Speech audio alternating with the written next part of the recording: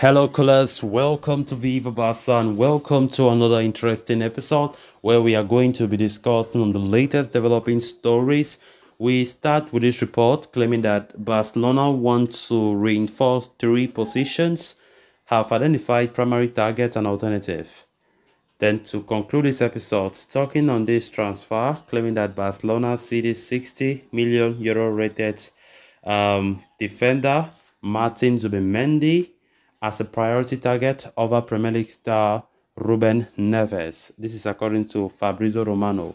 We are also going to be discussing on that. So guys, before we get right into the full story, please do ensure to subscribe to the channel if you haven't. If you're just coming across the channel for the very first time, you are very welcome. Consider liking the video and please watch right up to the very end.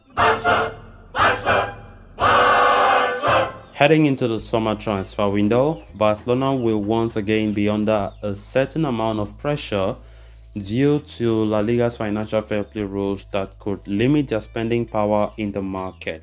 But President Joan Laporta and co have already begun laying out plans for the next transfer window as they look to further equip manager Xavi Hernandez with the tools needed for him to take Barcelona back to the very top.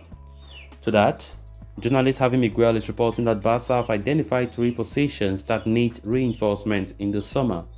The Catalans wish to bring in a new right back, a holding midfielder, and a striker before the next campaign kicks off. The journalist further adds that Barcelona have already chalked down the names of their primary targets for each of those positions while also identifying backup options in case they fail with their plan A. As per the report, Juan Foyth of Villarreal is the primary target at right back, with Benjamin Pavard of Bayern seen as a plan B. So when it comes to the defensive midfield role, Xavi Hernandez and co continue to prioritize a move for Martin Zubimendi despite his 60 million euro release clause. In case Barcelona are unable to sign the Real Sociedad ace, Fiorentina A Sofyan Amrabat is seen as the plan B. As for the centre forward slot, Barcelona have set their sights firmly on Brazilian teenager Vitor Roque of Atletico Paranaense.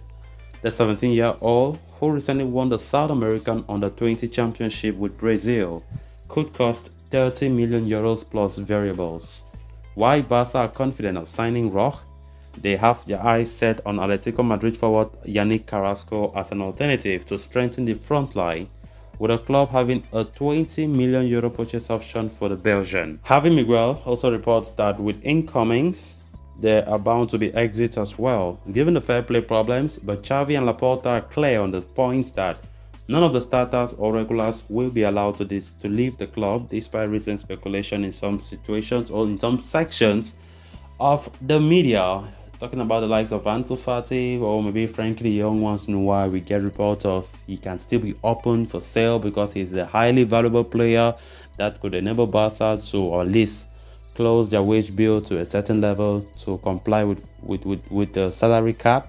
Um, definitely Laporta have made it clear that all the starters that Xavi is prioritizing in his starting 11 definitely those players will be there next season of course so this report just brings out you know the, the top priorities or the top um, areas of the, the pitch to strengthen. And it is no surprise. Right back is something that we've been talking about countless number of times. Barca needs a new right back. We understand Koundé is doing so well in that position but we all know Koundé have been always talk about you know he, he is not he prefers to play center back than right back even though he does right back than most right backs right but Barca will continue to look for a proper right back. You know, then defensive midfield position is also one of the most talked about in recent months. We all know Busquets' situation. Um, he has not yet extended his contract, even though the, there's still some complications.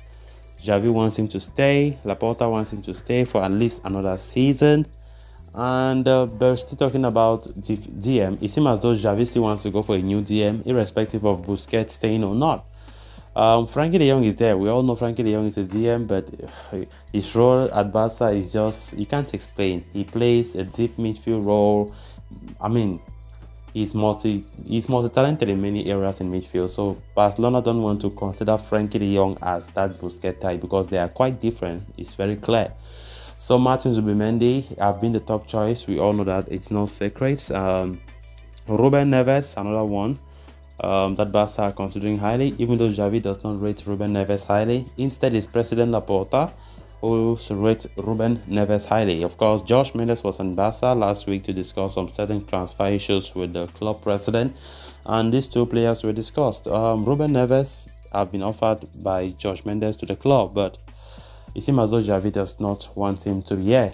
Then also striker. The striker is another position that Barca needs to strengthen because, to be honest, I think if we are just relying only on Robert Lewandowski, there will go. in fact, there will be a big problem we can't do that. We shouldn't even do that because not all the time. He's getting old and certainly nature might catch up on him. So just to nurture a, a youngster who can be here at a very long run. And victor roque of brazil is the number one target. And barca have vowed that they will do all that they can to bring him. Then on to the final story of discussion. Ruben neves of wolverhampton wanderers has been heavily linked with a move to barcelona as a possible replacement for captain Sergio Busquets, the Portuguese international has been on the club's radars for a while now, with reports suggesting that he is also the preferred option for President Joan Laporta.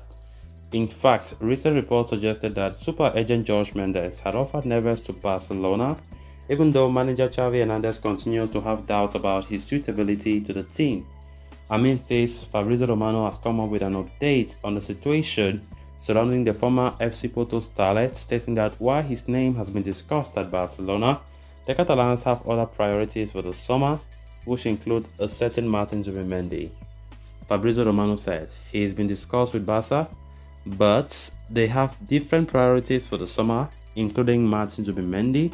So let's see how they will decide to proceed. Zubimendi has long been touted to be Xavi's preferred option to take over from Busquets in case the club captain leaves at the end of the season. However, the problem with the 23 year old Spaniard is that he has a release clause worth 60 million euros in his contract with Real Sociedad, and La Real are not willing to offer any discounts on that figure, which puts Barca in a difficult spot. The Catalan heavyweight financial problems make it near impossible for Xavi and co to shell out such a sum on a single player, especially when there are other areas that the club wish to bolster in the summer.